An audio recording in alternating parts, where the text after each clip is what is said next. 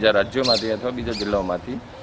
તો એ લોકોને ઘરમાં અલગથી ક્વોરન્ટાઇનમાં રાખવાના છે. ઘરના બીજા જે ખાસ ઉંમરલાયક લોકો હોય કે જે ઝીરોથી પાંચ વર્ષના બાળકો હોય, સગર્ભા માતા હોય, એમનાથી એમને દૂર રહેવાનું છે ઘરમાં. નહીં તો એમને ચેપ લાગવાની શક્યતા વધુ રહે છે. બીજું મારી એક સલાહ ગામની જે કન્ટેનમેન્ટ કમિટી છે એને છે.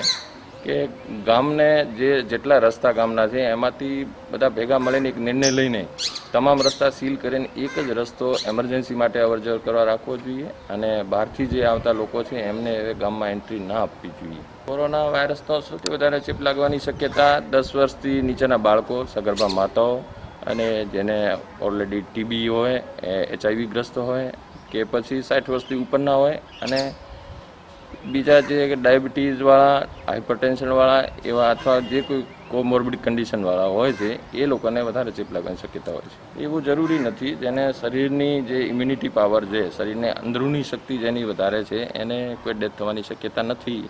અને જે લોકો જે મેં આપને વાત કરી જે ખરેખર હાઈ રિસ્ક છે એમને મૃત્યુની શક્યતા વધુ છે.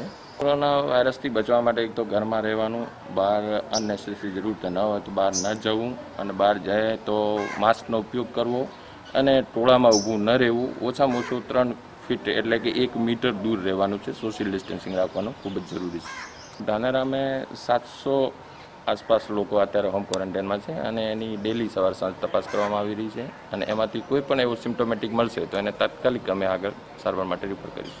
બહાર પાડવામાં આવ્યા છે. તમામ લોકોને મારી નમ્ર વિનંતી છે કે સોશિયલ ઘરની અંદર જ રહે, જાહેરનામાનું પાલન કરે.